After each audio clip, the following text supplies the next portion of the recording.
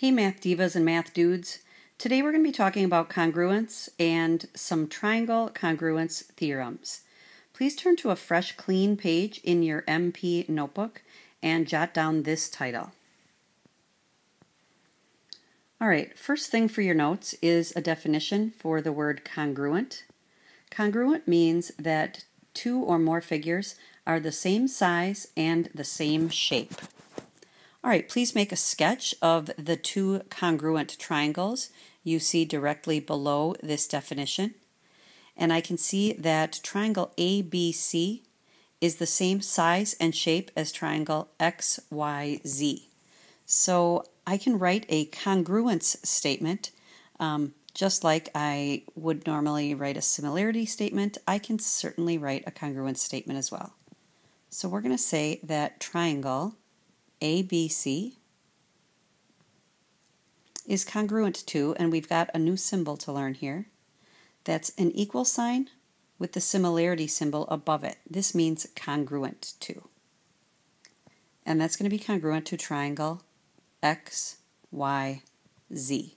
When I name my congruent figures, I want to make sure that I um, put the corresponding angles in the same position of my statement. Okay, directly underneath that, you can see that we've are, we are going to take a look at two congruent hexagons. Now, we're going to write a uh, congruence statement about them. And um, whenever we're dealing with a figure that has more than three sides, we don't always need a little symbol like we use the triangle. So um, I'm just going to start naming the figure with the letters. And I'm going to start here with this letter D. So I can say that hexagon D, E, F, G, H, I is congruent to, now I want to make sure that I start in the same position and follow the same pattern that I did when I named my first hexagon. So I'm going to start with R and follow the same pattern, naming it S, T, U, V, W. And there's my congruence statement about those hexagons. Okay, the primary focus of today's lesson is about triangle congruence theorems. All right, and we're going to talk about a few of them today. So the first one is the side, side, side congruence theorem, which is oftentimes abbreviated SSS for side, side, side. And this theorem states that if three sides of one triangle are congruent to three sides of another triangle, then the triangles will be congruent. So, please make a sketch of these two triangles right underneath the rule. I would recommend that you pause your video at this time to jot down this theorem and the sketch before we go on. Hit resume as soon as you're ready. Okay, I can see that on my triangle on the left, side MK is 6 inches long. The corresponding side from the other triangle is side WS, which is also 6 inches long. So in order for me to use this theorem, I need to state that there are three pairs of congruent sides. So right now I know that side MK is congruent to side WS. All right, next I'm going to highlight side ME on my first triangle. And I can see that is congruent to side WC on the other triangle. They are both 4 inches long. So I can say side ME is congruent to side WC. Okay, the last pair of sides um, on my triangle on the left, side KE is 9 inches and that is congruent to side SC on the other triangle because that is also 9 inches. So I can say that side KE is congruent to side SC. Now, since we do have three pairs of congruent sides, I can definitely know for certain that these two triangles are congruent, so I'm going to write a congruent statement about them. I can say that triangle MKE is congruent to triangle WSC, and I know this by using the side, side, side rule.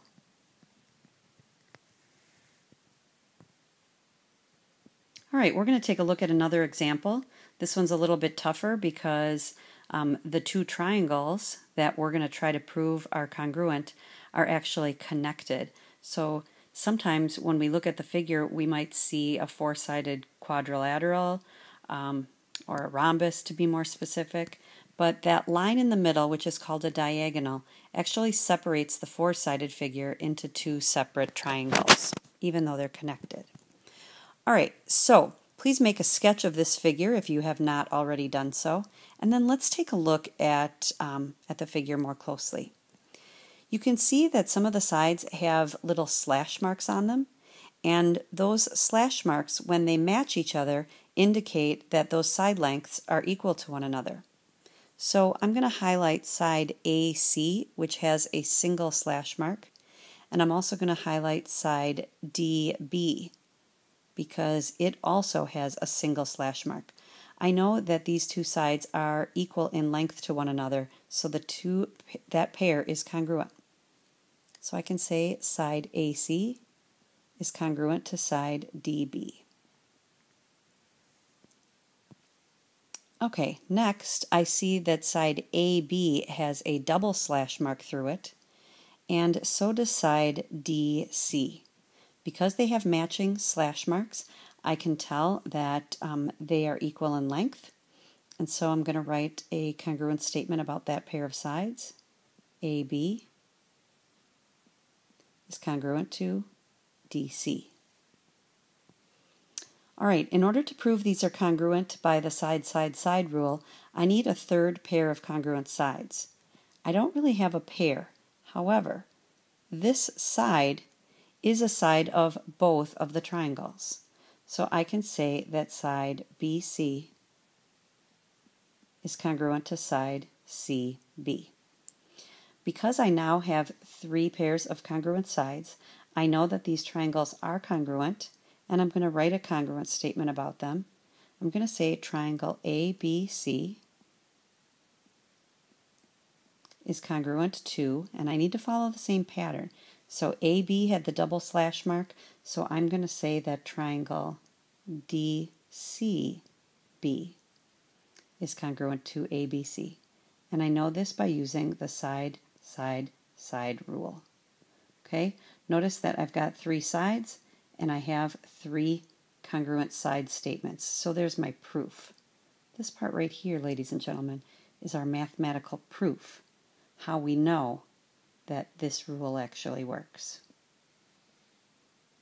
So are these triangles congruent? Yes, they are.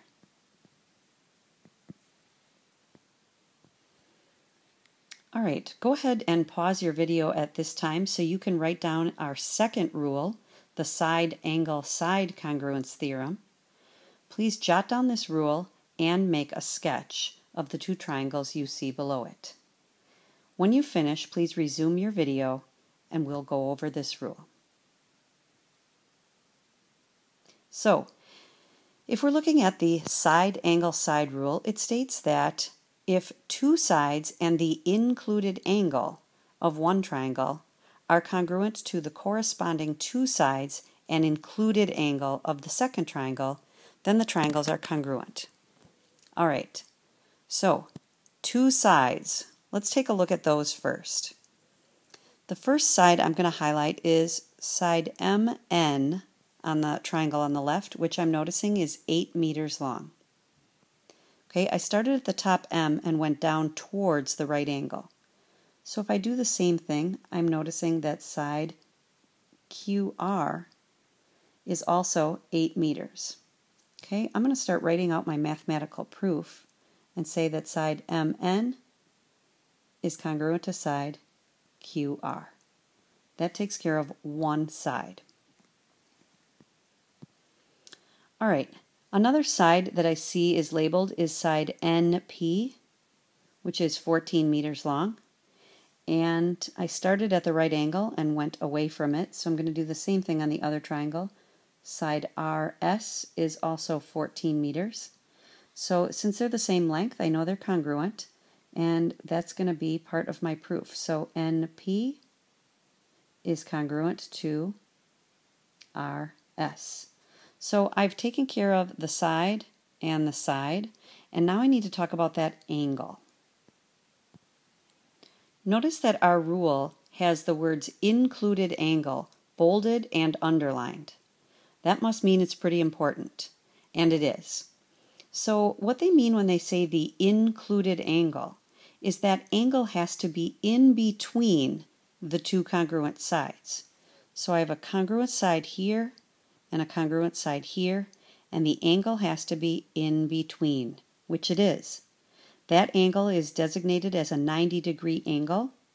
And if I look at my other figure, in between the two given sides, I have a matching, corresponding 90 degree angle.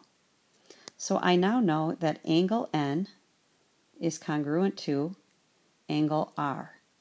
I now have the side, the angle, and the side so I know that my triangles are congruent. I'm going to go ahead and write a congruent statement. Triangle MNP is congruent to triangle QRS, and I know this from the side angle side rule. All right, let's do one last example together. This is a tougher one. Remember that um, sometimes we've got congruent figures that are um, connected to one another. I'm going to highlight um, one triangle here. I really have three triangles, two that are side by side and one large triangle. Okay, so I'm going to take and highlight that one, and then I'm going to highlight the one next to it in gray. All right, so um, first thing I'm noticing is that both of the bottoms of these triangles are 5 feet long. So this side is congruent to this side. So I'm going to say side PT is congruent to side WT. I'm also noticing that both of these um, triangles have a right angle. So I'm going to say angle PT K is congruent to angle WTK. Now, some people wonder, why didn't you just call them angle T and angle T? Um, they are two different angles, and so if they both have the same vertex point, I really do need to name them um, with three letters so I can be very specific about which one is which. Okay, and lastly, I'm noticing that these two triangles share a common side right here.